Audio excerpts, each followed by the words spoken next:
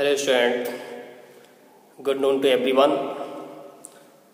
I am Devanand Rajput. Welcome back to in this new session 2020 to 21. As you know student, from today we will study geography. Every day we will present here with a new concept, with a new topic and I hope that you will study through online teaching. And if you have any kind of query any kind of difficulty hopefully you will ask me and I will resolve it. It is very critical time for us you know very well in our country. There is a epidemic disease corona it means covid-19 so, in what way we can fight it? By concerning this matter, we have to start our session very successfully by study through the different different topic, different different teaching methods, different concept, and I hope that each and every day you will concern about it and also it will be online as well as I hope your parent will cooperate to you for online study. Okay, let's start our study from geography. You know, according to our syllabus in this new session, there will be three books as I told in audio. First book, Fundamentals of Human Geography. Second, Economy of the country and uh, third one practical work in geography. It is known part second and part first is known for class 11th so there will be three books. I hope that you will purchase these three books ncert books. So let's start our uh, chapter or topic from chapter number first human geography nature and scope that you are seeing, I want to ask you who is the father of geography. We should know about it because we are the student of geography. Certainly, you should know about who is the father of geography.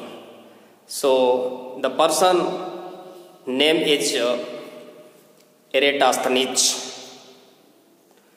But if anyone is asking you who is the father of modern geography, certainly you have to tell him or her Carl Ritter. So this is the difference between two person. Only the father of geography, Eratosthenes, and father of modern geography, Carl Ritter. Let's start our topic from the introduction of nature and scope of human geography. As you know, student, we talk about the human geography. Certainly, we should think about the human concerning of human between the human and the physical environment that is the nature. Forever we are seeing that if we talk about the primitive societies, they discussed, they depended their life on the physical environment completely. Either according to the existence means existence of the technology, slowly slowly we are moving towards the modern technology and also we are uh, setting up and upgrading our life by using the technology and our skills. But if we talk about the relationship between the human to the physical environment, certainly we have to say human is depending on the nature completely. If any kind of item we are receiving from nature, certainly we can eat from nature primarily. But after using the technology after using our resources and skills certainly we can modify it according to our needs or wants. But example the primitive societies it means the early human. Their life completely depended on physical environment or the nature. So we can understand the relationship between nature and human. If we talk about the earth environment we have to think about the component of the earth environment So there are two components. That is first the nature or we can say physical environment and other one human beings. It is non the human environment. But what is the interrelationship between human and physical environment? Either we are developing with a newer technology or the existence of technology, but without nature we can't get any kind of product, any kind of raw materials for making any item whatever we are using in our everyday life. Student, I want to say you what is the meaning of human geography? As you know, the meaning of human geography we can say the relationship between physical environment that is the nature and human world whole community of the world so the relationship between human and the natural environment is known human geography how we are depending on the nature and how we can modify the nature to fulfill our needs also day to day we are depending on the different different products that we get primarily from nature. Move ahead. There was a German geographer who said and described state or country as a living organism. Any state, any country or the boundary of the nation, certainly it is the living organism who are living in the uh, geographical boundary of the country, either the human beings and any living beings like flora and fauna also. But this is the circulation dynamic relation between the human and changing atmosphere, changing nature, changing physical environment. Move ahead, I want to, to uh, tell you the definition of it is described by Ratzel, a scholar or geographer. Human geography is the synthetic study. Synthetic study of the relationship between human activities with the physical environment. It is the definition given by Ratzel, who is the geographer. Now we will move ahead changes in the physical environment. Physical environment, you know, when we talk about the physical environment, certainly we have to describe the changes in the physical environment. According to the, our needs and wants, we are changing the environment and we are fulfilling our needs. So this is the close relationship between human and the physical environment. Either we developed a, a newer technology, but yet we are depending on the nature. This is the close relation. We move ahead and also we will discuss about the definition of Ratzel. Also we studied after that uh, very important changes in the environment. What are the changes? changes in the environment as we require any kind of item or product to fulfill our needs we are changing or modifying the environment or the physical environment as you've seen different different infrastructure we can see on the earth surface like houses settlements road highways railways ponds canals airports different different stadium parks or the playground these are the changes or the modification of environment. But these are the changes we are doing to fulfill our needs. We will move ahead. There is very important topic in this concept of environmental determination. What is the determination? It means what is the factor who can determine the life of human with changing environment so that is first component naturalization of human. What is the naturalization of human? We can say human naturalization. It means this is the best example. If we remember that the life of primitive societies or the early human. Early human was depending completely on the physical environment. It means we can adopt our life. We can make adaptation. This is the naturalization. If we are depending completely on the nature certainly it is the naturalization of human.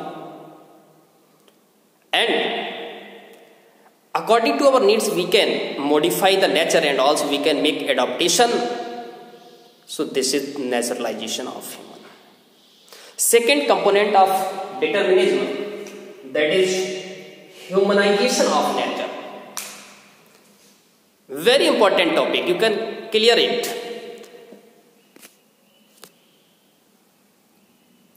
A naturalization of human and humanization of nature.